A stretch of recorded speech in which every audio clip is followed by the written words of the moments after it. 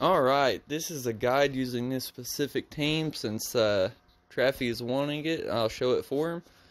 Uh, you're going to want to make sure for this team to work, you have to have the healing artifact set.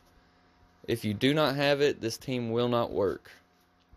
But uh, here's the gear, attack crit on Meli and Escanor, uh, HP defense on Gowther and Diane. With that, let's hop in.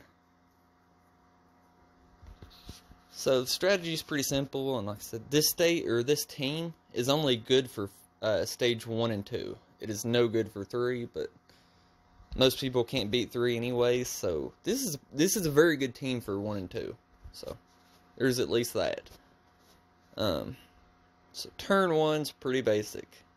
You're gonna taunt with Diane, and we're gonna use her single target, the pumpkin bomb, and Escanor's uh, normal card.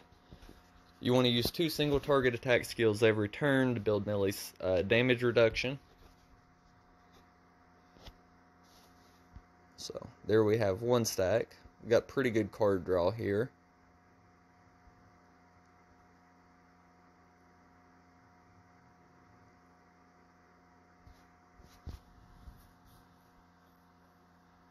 No, can't even break the shield. Alright. So we're going to Diane single target, and then we're going to get rid of these AoEs. We might kill this turn. Yeah, we're probably killing. Yep.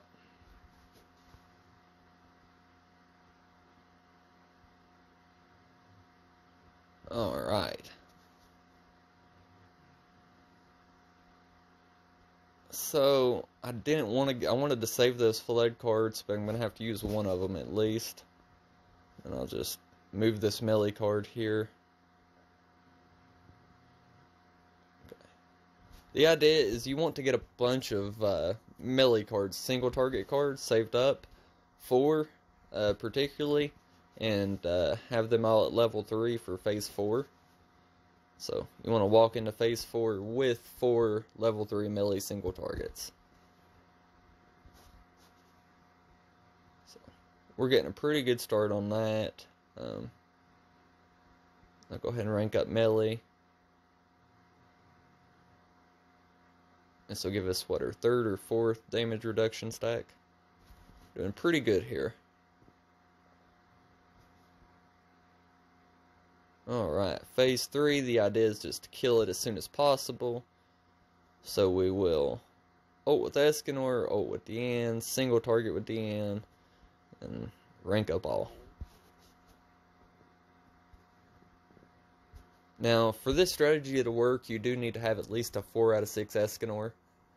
Um, Meli, he can be 1 out of 6, that's fine. But you do need some dupes in Escanor. Alright, he's going to remove my buff, taunt, but I have another one on deck. He's going to attack Gowther, that's fine. Okay. So now we will Gowther ult. Let's move this Meli card.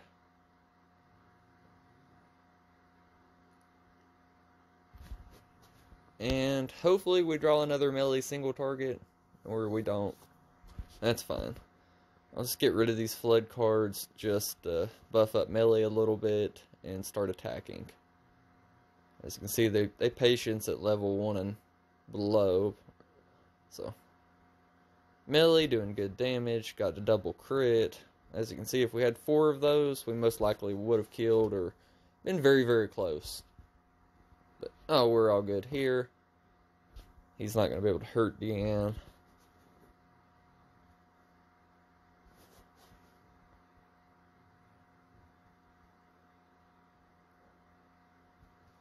So we're going to rank up all, rank up all again, attack with Meli, oh with Meli, and attack with Meli. And this should finish it here.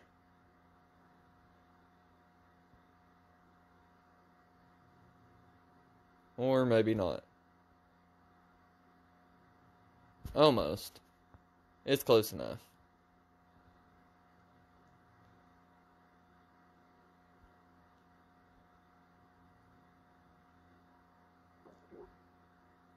It, it, it is a bit unfortunate that I didn't draw the uh, single targets for Meli to have four of them ready. Really, that's what you want to do. At least three. If you don't have three by phase three, you might want to reset. It's up to you, depending on how much uh, how you have your units built out and how much punishment they can take till you have the right cards. It just uh, varies. As you can see, this will finish stage one. Nice and easy.